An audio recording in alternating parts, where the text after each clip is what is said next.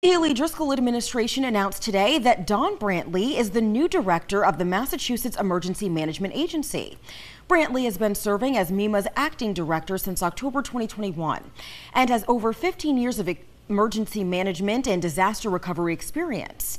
In January 2020, Brantley served as assistant director for planning and preparedness and supervised the nuclear preparedness unit, public information unit, and training and exercise unit. MEMA is the state agency responsible for ensuring the Commonwealth's preparedness to withstand, respond, and recover from all types of emergencies and disasters.